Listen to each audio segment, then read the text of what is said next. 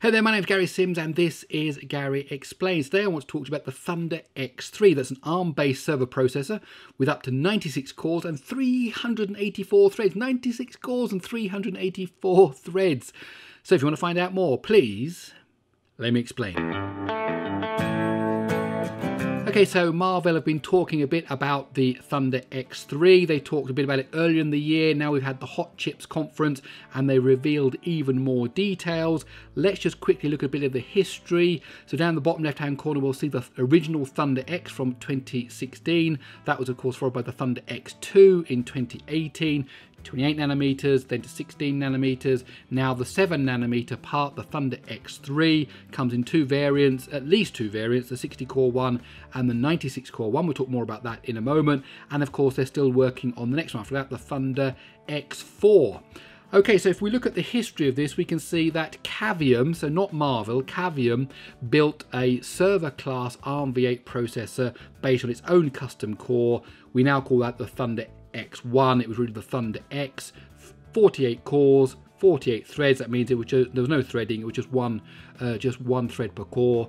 1.9 gigahertz, 64-bit uh, only. Didn't wouldn't run any ARM 32-bit code. So it's 64-bit uh, AArch64. That's the ARM v8.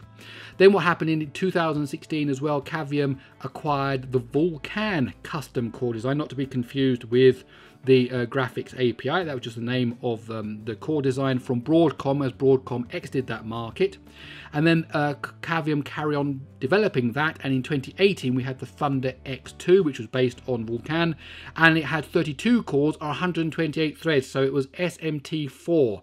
And we'll talk more about this in a moment. Basically, four threads per core. Then it ran at 2.5 gigahertz, ARM uh, 8.1. It was the most widely deployed ARM-based server processor in the world, and it was the first ARM-based processor to get into the top 500 list of supercomputers.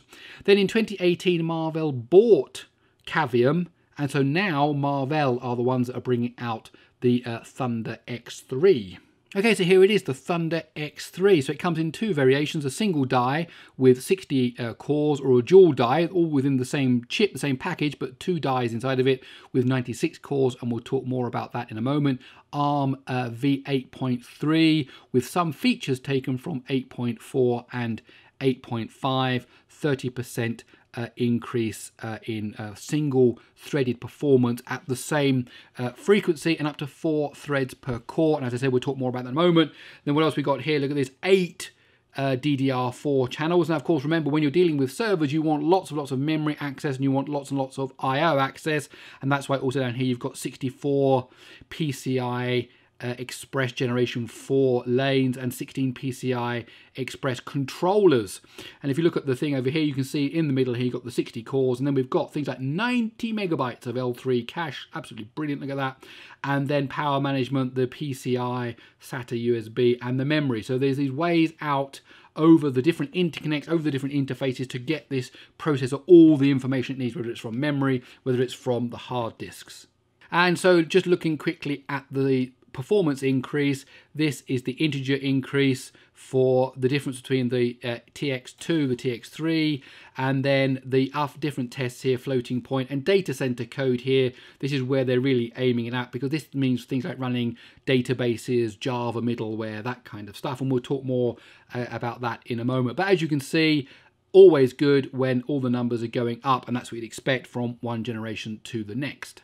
So if you're interested in things like uh, ARM-based servers, then my idea is that maybe you want to know more about machine learning and data science. So there's this great deal going on at the moment, machine learning and data science certification training bundle. Take a deep dive into machine learning and data analysis across eight courses and 48 hours of content, and that's only $35. And what do you get in here? Look, we've got you can see we've got TensorFlow, we've got some Python stuff, we've got R, other couple of courses here with R, more Python. So you've got TensorFlow, R, and Python, 48 hours, only $35. And if you buy this course through the link in the description, you also help out this channel. Okay, let's carry on. So I wanted to talk more about the uh, four-way SMT, so that's the threading. Now, first of all, I have a whole video about hyperthreading, so how it works. So if you don't understand threading, and really I should you go and watch that video first, because that'll give you an understand the difference in a core uh, and a thread. And there should be a link coming up here that will take you to that video. But basically, you've got some front end stuff that allows kind of the initial stuff presenting to the rest of the processor, even to the OS. It sees like each of those cores as a CPU. So there's shared stuff here uh, and there's duplicated stuff. So each thread has its own state, so it knows what's going on, but the execution units and the pipeline, all this stuff is shared. And what this basically allows you to do is that when there is a gap here in this process, when this process is kind of got a, a bubble in it, it, you can fill it with stuff from another thread, which is another task going on on the uh, server. Now what's interesting is that four-way SMT actually only adds 5% to the overall transistor count, which is pretty uh, amazing. So the Thunder X3 single single die has 60 cores, which gives you 243. So when you booted up Linux on this, it would say, oh, you've got 240 cores. In fact, we know they're not cores, only 60 of them are, but the rest of them look like cores, and it's this sharing here. As I say, again, do go and watch that video on this. But of course, on the desktop, we see kind of double the number of threads there are cores, but here on the server, they've gone with four-way and that's important for performance, certain types of performance loads, which we'll talk about in a moment. Now, of course, since you've got this four-way, these four threads, then if you look at this picture of the pipeline here, you can see that there are times when you're using four things and then there are times when you're sharing all the different blocks. So what happens is you want to be able to share fairly the different threads across this shared resource, which is this basically this pipeline. And so how do you do that? First of all, Fetch prioritizes threads with fewer instructions in the pipeline over threads with more instructions. Well, that makes sense. Basically, if a thread is basically going to starve, then it needs to get its next instructions threads have already got lots of instructions in the pipeline. Well they can basically uh, they can wait a moment. At the dispatch side which is after kind of the uh, the fetch part then you've got similar to fetch but considering also it takes into consideration what's coming next. Scheduler is basically age based so basically you've got the micro ops going down the pipeline here and the micro ops tend to be fairly well one-to-one -one relationship to the actual ARM instructions not necessarily one one to one, but basically they are. And so these micro ops, basically the oldest one gets gets done next. That's as, as simple as that. But at the other end, when you're retiring, which is the thing that basically uh, makes the final state uh, kind of set for the fact that instruction has been executed, then that is in favor of the threads that have more instruction to retire. So you don't want a backlog building up over the threads. So again, shared resources, all these things are shared and you've kind of got four things feeding into them and feeding out of them and you have to prioritize those to get them all down the pipeline. And so when you look at the kind of performance of that, if you've got low instructions per cycle, and by that we mean that the processor isn't running at 100% because it's doing things like I.O. It's waiting for something from the disk, it's waiting for something from the memory. So the CPU is going, oh, I've got nothing to do now while you do that. So that might be, for example, a database. You're running MySQL, then there are times when it's going to be looking at memory, looking at the uh, at the disks. Okay, so obviously if you take the one thread performance as an index of one, when you go to two threads, because of the way it works, you can actually get a performance of 1.79. You're not get a performance of two, but you can get a performance of 1.79 when you've got extra load added on to the, what's going on. And then when you go to four threads, that gets you an index of 2.2. So basically four threads in a low IPC situation is the same as having two cores. That's basically the way to look at it. Now, when you've got a medium IPC, then if you've got one thread is again one, two threads is 1.38. Now, you notice it's down from 1.78, and then four threads gives you 1.73. Uh, so four threads is the same as kind of one and a half, one and three quarters uh, cores if you're using a medium instructions per cycle. And then if you're really hammering your your um, your processor, so let's say here, look at this uh, X264, so encoding, video encoding, CPU only, not using the hardware. Again, if one thread was one, then two threads, it's 1.8, so you can see how this has gone down, and four threads is only 1.28. So if you were, example, a, a workstation doing, you know, video editing, let's just say, and then you're doing video encoding, having all these threads isn't really going to help you. And that would be true also on a, on a desktop PC with, a, with an Intel or AMD processor.